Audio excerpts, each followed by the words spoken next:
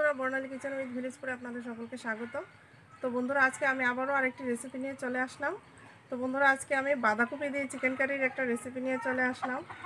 তো বন্ধুরা, আমি ভিলেজ স্টাইলে কীভাবে বাঁধাকপি দিয়ে চিকেন কারিটা রান্না করি, আপনারা প্লিজ আমার সম্পূর্ণ ভিডিওটা দেখবেন। তাহলে চলুন, এবার রান্নার জায়গায় গিয়ে রান্নাটা শুরু করি। আমি বাঁধাকপি দিয়ে চিকেন কারিটা রান্না করার জন্য এখানে একটা বাঁধাকপি নিয়ে নিয়েছি। তো বাঁধাকপিটা কিন্তু সম্পূর্ণটা লাগবে না, অল্প একটু হলেই হয়ে যাবে। আর এখানে যে যে উপকরণগুলো নিয়েছি আপনাদের একটু বলে দিই। এখানে নিয়েছি তিনটে তেজপাতা, গোটা গরম মশলা, এখানে হলুদ গুঁড়ো, এখানে লঙ্কা গুঁড়ো, জিরে গুঁড়ো, ধনে গুঁড়ো, পেঁয়াজ কুচি, এখানে রসুন বাটা আর আদা আর কাঁচা লঙ্কা একসঙ্গে বেটে নিয়েছি। এখানে ডুমো করে কেটে রাখা আলু, লবণ, সরিষার তেল আর এখানে গোটা একটা টমেটো। তো বন্ধুরা, আমি রেসিপিটা শুরু করার আগে প্রথমে আমি বাঁধাকপিটা কেটে নেব।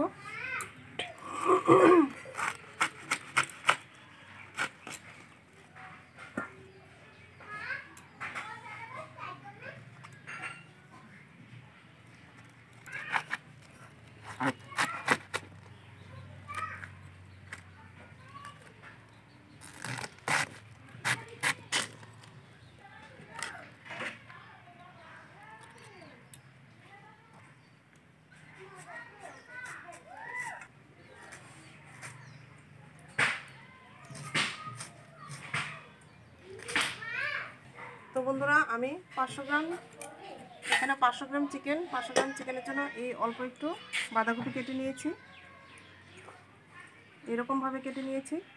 তো বন্ধুরা, এখন এটাকে ধুয়ে নেব। ধুয়ে আমি উনুনটা ধরিয়ে দেব। তো বন্ধুরা, এখানে উনুনটা ধরিয়ে কড়াটা বসিয়ে দিলাম। তো কড়ার মধ্যে প্রথমে আমি বাঁধা- বাঁধাকপিগুলো একটু ভাপিয়ে নেব। তো এখন কড়ার মধ্যে দিয়ে দেবো।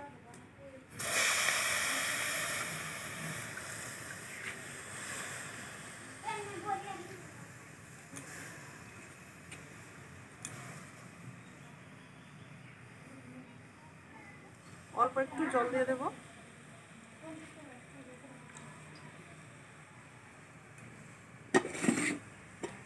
একটু ঢাকা দিয়ে দেব।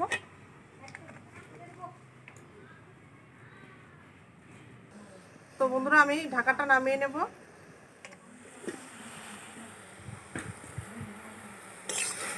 বাঁধাকপিটাও একটু ভাপানো হয়ে গেছে, তো বাঁধাকপিটা আমি এখন নামিয়ে নেব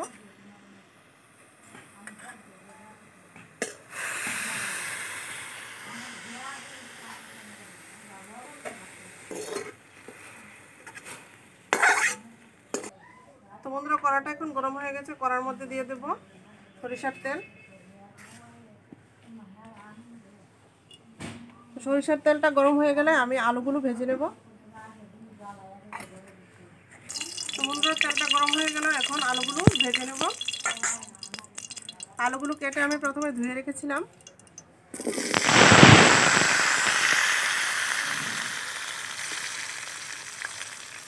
দিয়ে দেবো অল্প একটু হলুদ গুঁড়ো।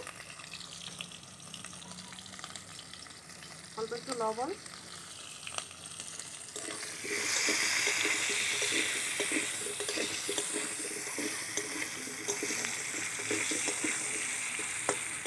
তো বন্ধুরা আমি এখন ঢাকাটা তুলে নিচ্ছি।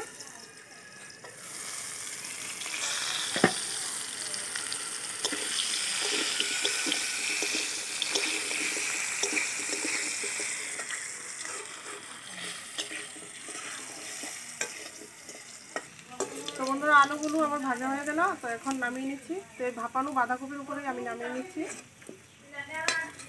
তো বন্ধুরা, এই আলু ভাজার তেলের মধ্যে আমি আরেকটু দিয়ে দেবো সরিষার তেল।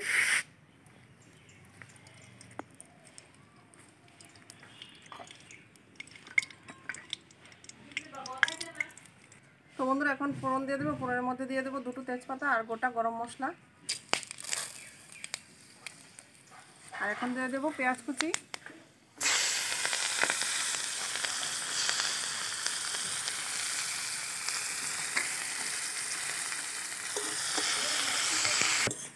বন্ধুরা, পেঁয়াজটাকে আমি হালকা করে ভেজে নিয়েছি, তো এখন দিয়ে দেবো কাঁচা লঙ্কা, আদা আর রসুন বাটাটা।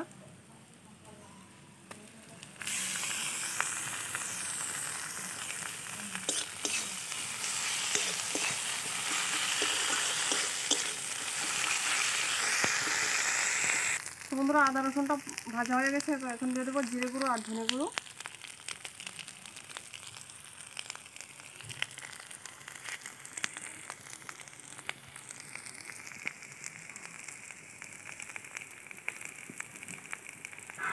দিয়ে দেবো হলুদ গুঁড়ো।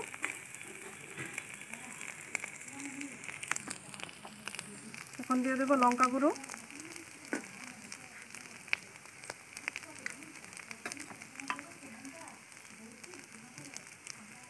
দিয়ে দেবো লবণ, স্বাদ মতো।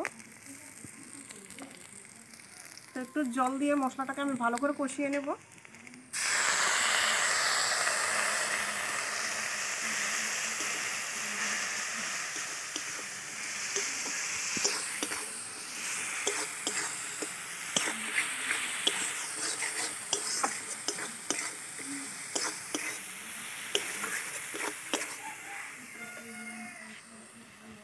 তো মশলাটাকে আমি একটু ভালো করে কষিয়ে নিলাম।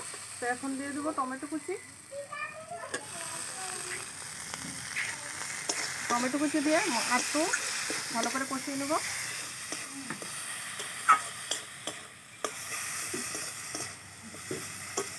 তো বন্ধুরা, আমি মশলার সঙ্গে টমেটোটা একবার একদম গলিয়ে দেব না। এরকম গোটা গোটাই রাখব। তো এখন দিয়ে দেবো ধুয়ে রাখা চিকেনগুলো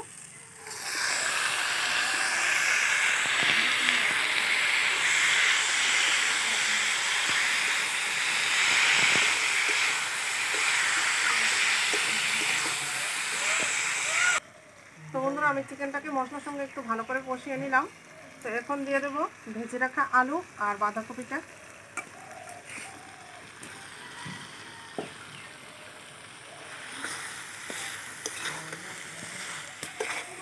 আলু আর বাঁধাকপিটা দিয়ে আরেকটু ভালো করে কষিয়ে নেব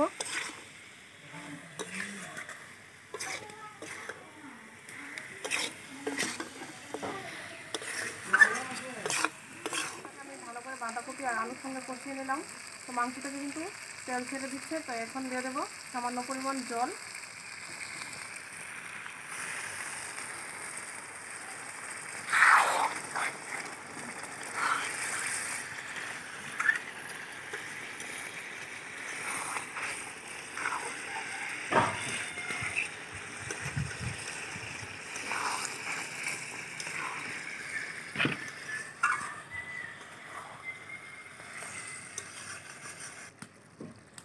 তো বন্ধুরা বাঁধাকপি দিয়ে আমার চিকেন কারিটা একদম কমপ্লিট তো এখন নামিয়ে নেব।